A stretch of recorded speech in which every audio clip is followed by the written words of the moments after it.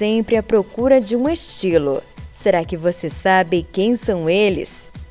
Se você disse adolescentes, acertou. Só no Brasil existem mais de 24 milhões deles, que correspondem ao maior percentual de pessoas conectadas à internet no país.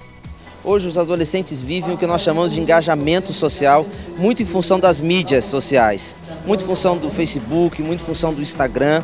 Eles vivem hoje uma proatividade talvez nunca antes vista.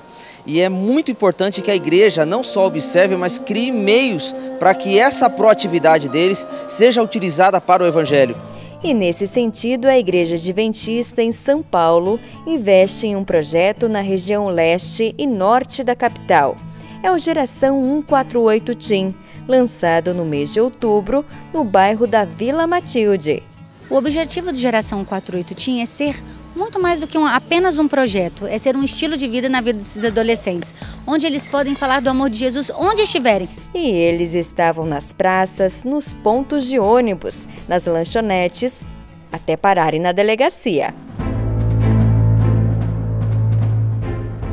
E não teve jeito o investigador teve de ser envolvido no caso.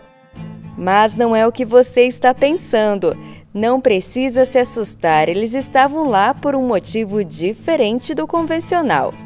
Muito esclarecedora para ambos, para todos aqui, eu creio, né? Para nós também é muito bom a gente ver que a sociedade tem uma solução, a sociedade ela tem um fim bom também. E no caso, sobrou até para o Vô Portuga ali do lado sobrou abraço grátis, é claro. Nossa, que feliz! Elas também têm testemunhos sobre o caso. Ah, eu tô achando muito legal, é importante para as pessoas verem que tem alguém se importando com elas e verem a ação da Igreja Adventista com os jovens. Foi muito legal, foi muito desafiador, mas deu tudo certo no final. Caso resolvido, fica o ensinamento e objetivo das ações. Fazer dessa nova geração uma geração que tenha coragem, que tenha garra e seja um G148.